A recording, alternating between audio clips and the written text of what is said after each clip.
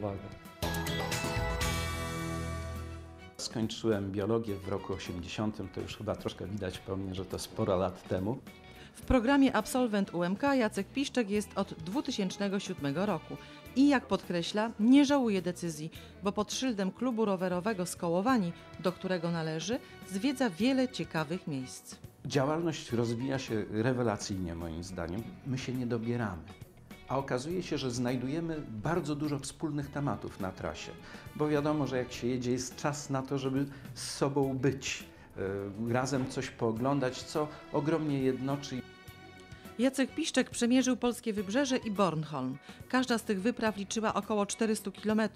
Łącznie wraz z innymi byłymi studentami Toruńskiego Uniwersytetu przejeżdża każdego roku blisko 3000 km. Są wspólne wieczory, czasem się uda zorganizować jakieś ognisko.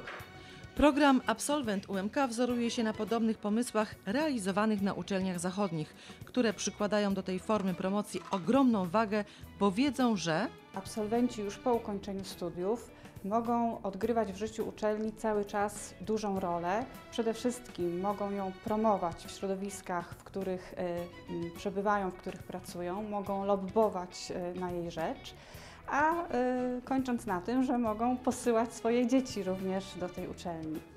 Na Toruńskim Uniwersytecie program istnieje od 9 lat. Należy do niego ponad 14 tysięcy absolwentów uczelni, na których czeka sporo przywilejów, jak choćby zniżki na kursy językowe, ubezpieczenia czy podróże, a także koncerty i różnorodne wydarzenia kulturalne. Zniżki te obowiązują tak w Toruniu, jak i na terenie całego kraju.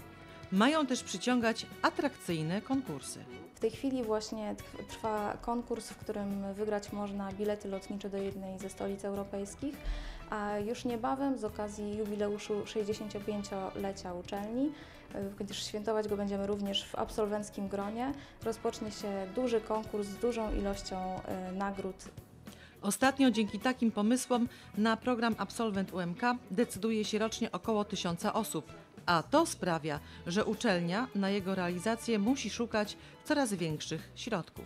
W tym roku po raz pierwszy zaczynamy tę akcję, ale mamy nadzieję, że ci, którzy jeszcze do tej pory nie zdecydowali się swojego y, 1% swojego podatku przeznaczyć na inne cele, że zechcą przeznaczyć go właśnie na wspieranie rozwoju programu Absolwent UMK. Tymczasem obok klubu rowerowego lub maratońskiego w programie rodzą się kolejne nowe pomysły.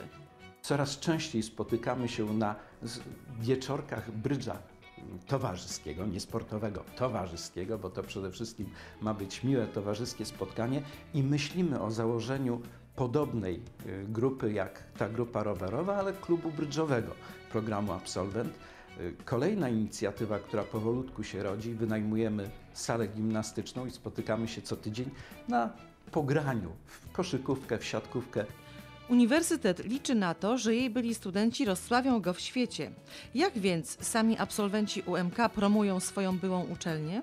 przez tą, powiedzmy, działalność, która nam przynosi przyjemność, myślę, że w jakiś sposób również popularyzujemy uniwersytet, bo jednak za każdym razem mówimy, że my jesteśmy grupą absolwencką tego uniwersytetu.